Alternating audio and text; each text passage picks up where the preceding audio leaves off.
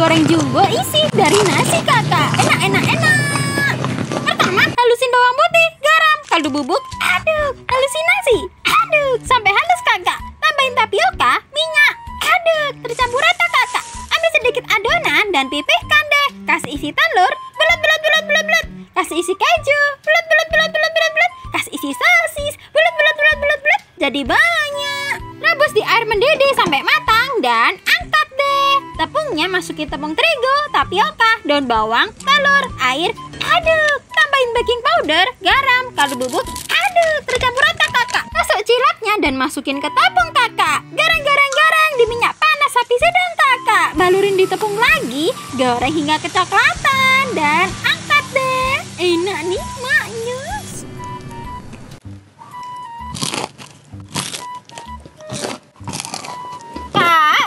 jajan SD seribuan kakak. Super krenyes dan gurih. Pertama, halusinasi. Aduk sampai lembut kakak. Tambahin garam, kaldu bubuk, lada, daun bawang, terigu, tapioka, minyak. Ceplokin telur. Aduk, tercampur rata kakak. Ambil sedikit adonan, pipihkan Dan kasih isi sosis deh. Rebus di air mendidih hingga matang kakak. Tunggu dingin dulu ya. Dan iris kecil-kecil kayak gini kakak. Tusuk-tusuk deh. Satu tusuk isi tiga ya. Wah jadi banyak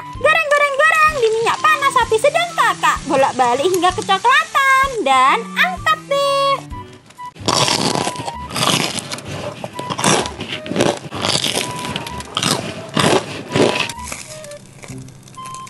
Dijual seribuan risol mayo maknyus Enak banget kakak. Ini roti tawar digulung-gulung biar tipis kakak. Wah aku bikin lima roti. Cus ini telur rebusnya dibagi jadi banyak kakak. Dan sosisnya juga ya dibagi jadi banyak sedikit garam dan air. Aduk, tercampur rata kakak. Ini rotinya kasih telur dan sosis. Tambahin mayones dan saus sambal deh. Olesin dengan larutan tepung dan rekatkan dengan garpu kakak. Baru deh cemplungin di tepung dan gepirin tepung panir kakak. Goreng goreng goreng di minyak panas api sedang kakak. Goreng hingga kecoklatan dan angkat deh.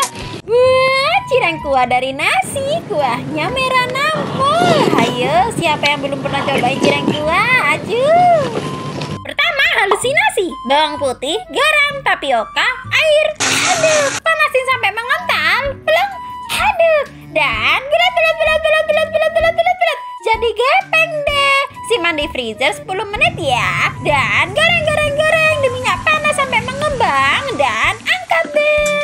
Untuk kuahnya gampang banget. Gak perlu masak lagi Karena aku pakai bumbu mis dasem. Ini tinggal dituangin air panas. Aduk Wah kelihatan maknyus banget kan Jadi bumbu mis dasem itu Amis selada asem Ini tuh cocok untuk 1001 masakan Bikin jadi lebih enak dan simple. Bumbu mis dasem ini juga sudah ada produk lain loh. Ada bakso aci Bu Etu Dan sebelah Bu Etu. Wah ngiler nggak tuh? Apalagi tanpa bahan pengawet. Jadi aman ya Dan bisa dikirim ke seluruh Indonesia. Bisa dibeli offline ataupun online ya. Kebetulan nih ada promo gede-gedean. Langsung aja pantengin bakso Bu Etu yuk Siapa yang suka makan mie yang berkuah tapi nggak terlalu berkuah kayak gini? Ini nih mie.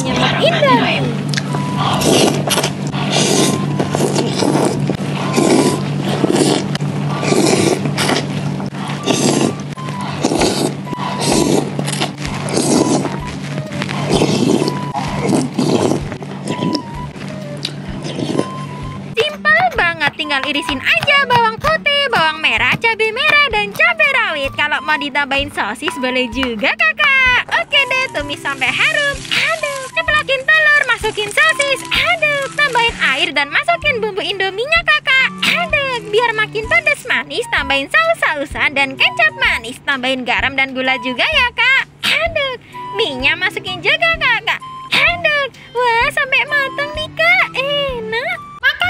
Makan 2 kilo bakso seafood modalnya nggak sampai 100 ribu. Nih kak. Merah banget nih kuahnya nampol. Buatnya simple bisa buat makan rame-rame atau mau dibuat ide jualan bisa banget dong. Di tempat kakak sih ada yang jualan. Belum berapaan nih harganya?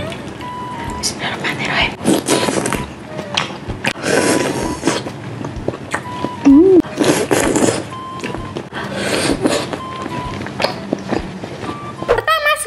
seafoodnya dulu dong Tentunya aku bikin pakai seafood yang praktis dan nikmat nih. Kuahnya dibikin ala Korea biar makin mantap dong. Ya kak, ini ada seafood cumi flower, bakso ikan, bakso udang, dan scallop. Bisa dibeli via online di Ayo Makan Seafood dan offline di Prima Fresh Mart. Oke, halusin bahan-bahannya. Aduk, tumis dah hingga harum. Tambahin saus Korea pedas gochujang. Aduk, tambahin air. Aduk, jangan lupa kasih penyedap kakak. Tinggal dimasukin aja si fudonya. Huh, mantep banget nih kak. Nanti bakalan jadi besar kayak gini loh si fudonya. Boleh banget nih ditambahin cabai hijau dan daun bawang. Mantap. Dan yang paling penting semua produk seafood ini itu terbuat dari real seafood, bahan-bahan yang menjadikannya sumber protein yang baik dan kaya akan omega 3, 6, dan 9. Bisa juga loh kalau mau digoreng, dikukus ataupun dipanggang, semuanya enak kak. Yuk kak, samaan cobain yuk. Mantep banget.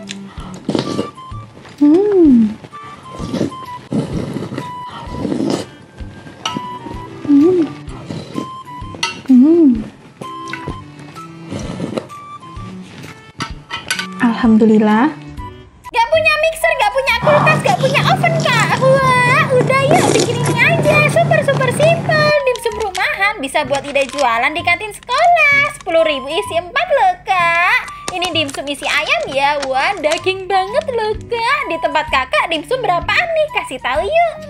Pertama halusin daging ayam, kasih bawang goreng. Aduh, belum tambahin wortel dan bawang. Ini sesuai selera ya kak. Kalau kakak nggak mau ditambahin wortel juga boleh. Aduh, tinggal dibentuk-bentuk kayak gini kakak. Bisa juga pakai kubis ya yang udah dikukus. Tinggal dikukus aja ya kak. Di sini aku pakai platinum pressure wok dari stand cookware. Bisa untuk kukusan, terus juga bisa loh untuk presto berlapis grandi Jerman untuk pemasakan 30% lebih cepat matang loh kak dan empuk. Tuh kan udah matang deh.